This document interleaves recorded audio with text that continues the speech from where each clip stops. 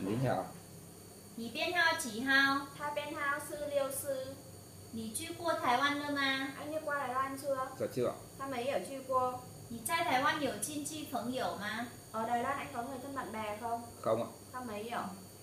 你会抽烟喝酒吗？ Anh biết hút thuốc uống rượu không? Dạ không ạ. Ta phú hơi. 嗯，你目前在越南做什么工作？ Hiện nay anh đang làm công việc gì?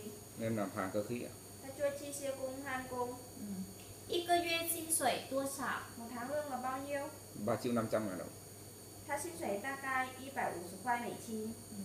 来台湾工作很辛苦，你受得了吗？ Đến Đài Loan làm việc rất là vất vả, anh có chịu đựng được không? Dạ được ạ. Ta sâu tứa lẹo. 在台湾工作，如果雇主要求你配合加班，你愿意吗？ Đến Đài Loan làm việc nếu ông chủ yêu cầu anh tăng ca, anh có đồng ý không? Dạ có ạ. Ta愿意。那你今天 啊、面试的工作，你有什么问题吗？ Ngày hôm nay phỏng vấn anh còn vấn đề gì nữa không? Dạ không ạ. Ta mấy hiểu vấn题. 你都清楚了吗？ Anh đều hiểu rõ rồi chứ? Dạ rồi ạ. Ta chính chủ là 今天你回答的问题，你要老实，确实不能欺骗，你知道吗？ ngày hôm nay những câu trả lời của anh phải thành thực không được lừa dối anh có hiểu không? Dạ có. Ta chưa giao là 好，现在请你站起来提下包。 bây giờ anh hướng dẫn bê bao khác.